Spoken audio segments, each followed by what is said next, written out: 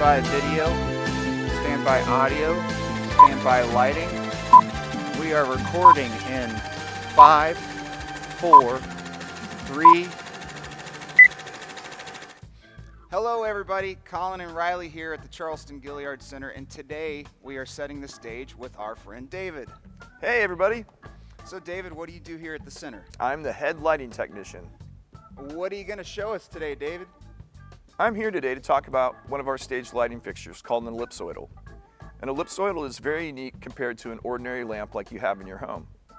First, let's talk about the source of light, the light bulb. As you can see, their appearances are very different. The household light bulb has a rounded shape and is frosted in appearance. This is so they can light up a large area like your living room. Generally, they are anywhere from 20 to 100 watts.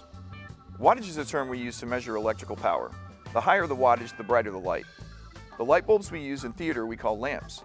They have a very different shape, are transparent, and have thicker glass. Oftentimes they can be 550 watts to 750 watts, or sometimes even more. This is so they can be used to produce a beam of light that illuminates a specific area of the stage. They are also much more powerful than your lights at home. Many times the light you have in your home has a lampshade. This reflects the light up and down and is usually translucent. This means it allows light to partially pass through. This all helps to light a large area like your living room. Remember in theater we use ellipsoidals to focus on a specific area, correct?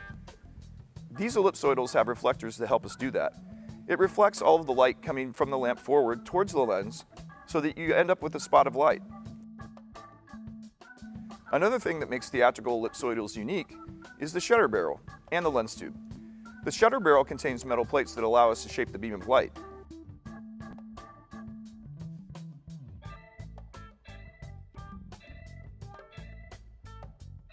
The lens tube focuses the light into a nice tight beam to light a specific area. That's much more interesting than your average house lamp.